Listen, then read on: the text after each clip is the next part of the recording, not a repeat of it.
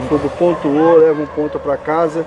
Você entende que pela superioridade do Botafogo, a expulsão foi o grande causador desse empate. O Botafogo poderia ter saído aqui com a vitória?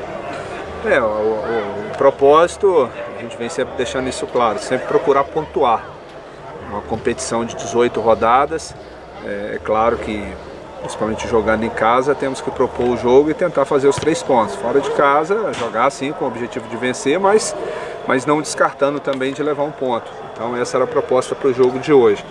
É, eu acho que a gente conseguiu fazer uma partida é, bem, bem equilibrada do, do, começo ao fim, principalmente no aspecto defensivo. É, o adversário não iniciou bem a competição, mas a gente sabe da força do Tupi jogando aqui em Juiz de Fora.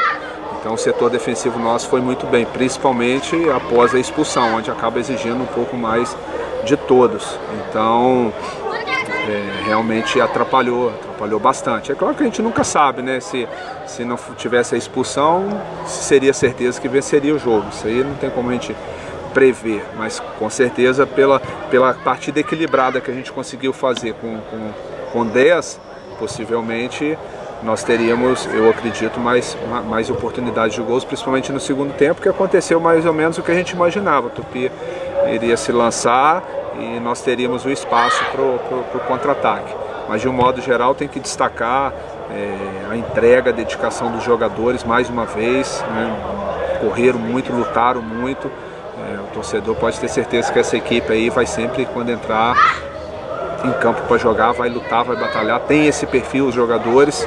Né? Muitos jogadores que já jogaram Série B, Série A, mas que estão incorporando realmente o que a Série C pede. Eu até falei com eles depois do jogo. Né? Tem que é espírito de, de, luta, de briga, e, e, foi isso que eles apresentaram aqui hoje. Né?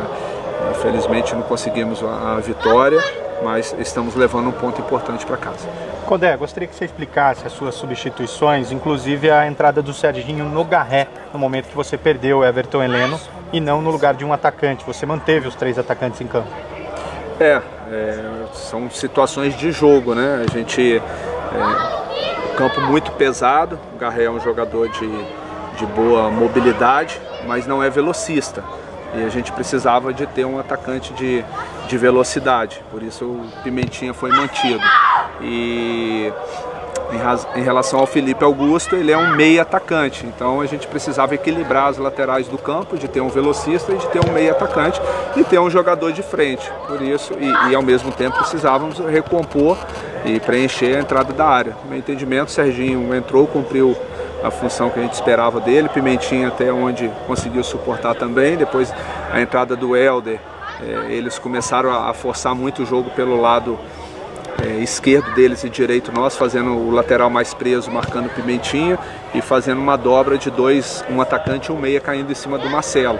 Então nós deslocamos o Felipe Augusto para aquele lado lá para ajudar um pouco mais o Marcelo e o Helder pelo lado esquerdo também para tirar a dobra que ele estava fazendo em cima do Peri e a gente ter força de contra-ataque. E depois a entrada do Caio Dantas, mais para dar um, digamos assim, criar um fato novo, dar um sangue novo para a equipe ali. O Jamie correu muito, foi, foi bem até onde ele suportou e a gente precisava de um jogador mais inteiro para incomodar a defesa do Tupi.